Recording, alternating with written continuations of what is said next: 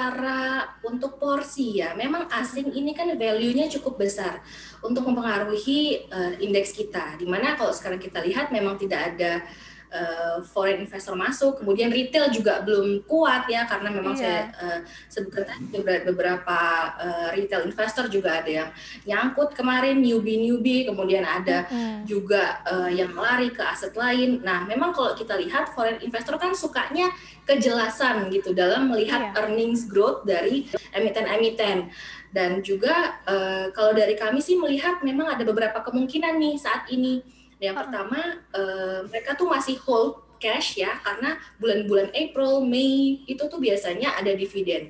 Nah, sudah pembayaran dividen mereka biasanya hold cash dulu di uh, bulan-bulan itu.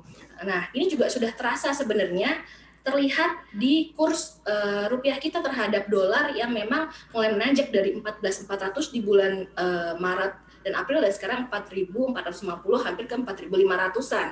Nah, apalagi kita melihat memang perkembangan dari global dan juga domestik kita juga belum kuat.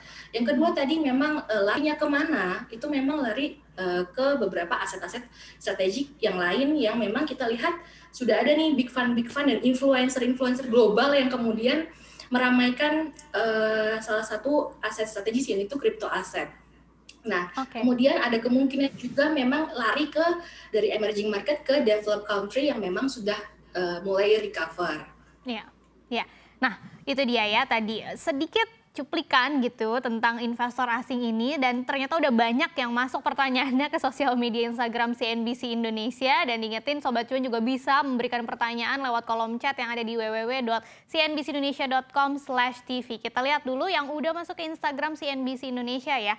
Ini ada tiga pertanyaan. Yang pertama dari Astri Dewayani, investor asing nih melarikan dana biasanya ke negara mana ya? Nah tadi kan disebutin sumber asetnya yang dituju. Nah ini kalau ditanya negaranya apakah ke Singapura atau Hong Kong atau gimana? Nah, kemudian pertanyaan kedua dari at Oki Mustakims. Apa yang harus dievaluasi agar asing kembali terpikat kira-kira?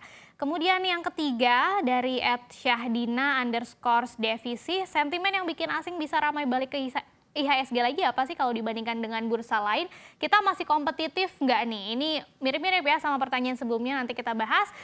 Langsung aja Mbak Feni, seperti apa nih yang pertama tadi uh, kan beralih ke aset-aset lain gitu ya selain saham. Tapi kalau dari negaranya sendiri biasanya mereka melarikan dananya ke mana? Singapura, Hong Kong atau yang mana? Ya, uh, seperti yang saya sebutkan tadi, memang foreign investor lebih appetite untuk melihat market yang jelas, uh, di mana memberikan earnings growth yang memang uh, signifikan. Nah, hal-hal inilah yang kami pertimbangkan itu mostly dana dari investor asing itu beralih ke uh, developed countries seperti ke China dan juga Hong Kong. Nah, okay. karena mereka, memang mereka tuh sudah uh, lebih dulu kebal ya, lebih dulu untuk uh, recover. Nah, yeah. hal iya. ini juga terlihat dari pembelian investor asing di pasar saham uh, China yang memang mm-hmm. naik uh, selama 2020 itu 62 persen, itu cukup wow. besar dan sampai saat ini juga masih naik di 520 billion US dollar dan ini memang uh, kita lihat cukup besar ya. Selain itu kalau kita bandingkan ya uh, foreign investor juga senangnya yang growth-nya yang tinggi, which means ini ada di negara-negara yang adopt teknologinya tuh juga cepat gitu. Jadi iya. uh, kalau di Indonesia growth-nya hanya ya sekarang kita lihat ya old company seperti uh, beberapa yang sudah mature itu di Indonesia kan banyak. Sementara mereka tuh perlu yang memang uh, ada value added-nya seperti di teknologi company yang memang belum ada listed di Indonesia.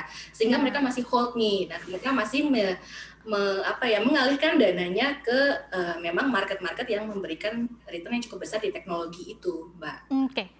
Pertanyaan selanjutnya jadi nyambung nih yang kedua sama yang ketiga mungkin bisa sekaligus ya. Artinya apakah kita udah nggak begitu menarik dibandingkan negara lain? Kemudian apa sih momentumnya atau yang harus dievaluasi supaya asing bisa masuk lagi ke pasar saham domestik? Ya, tentunya sentimen yang sangat ditunggu-tunggu oleh investor uh, baik dari domestik maupun foreign khususnya itu yang pertama pemulihan ekonomi yang terefleksi dari earnings emiten.